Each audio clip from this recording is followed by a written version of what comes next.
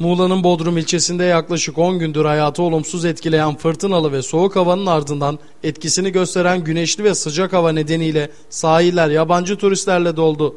Bodrum esnafının bayram öncesi yüzü güldü. Bodrum'da 10 gündür süren soğuk, yağışlı ve fırtınalı havanın ardından bugün güneşli ve sıcak hava etkisini göstermeye başladı. Sıcak havayı fırsat bilen turistler plaj ve günübirlik tekne turlarına akın etti.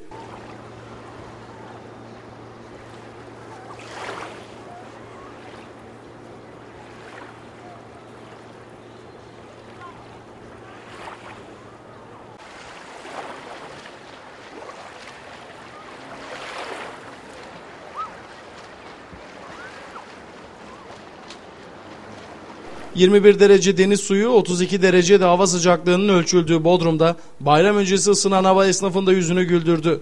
Bodrum'daki sıcak havanın hafta sonuna kadar giderek etkisini artıracağı... ...bayramda da havanın yaz aylarını aratmayacağı belirtildi.